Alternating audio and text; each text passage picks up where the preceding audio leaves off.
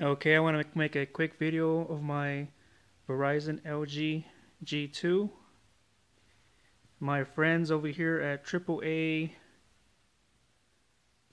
Wireless have managed to have my phone flash to Cricket. It is not unlocked, but they've somehow managed to flash it and get it working to Cricket. So for the network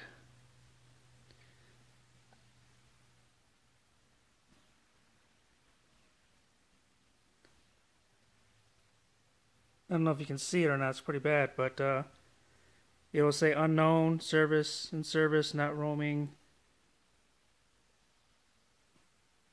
network strength and stuff, but it is now currently working on Cricket and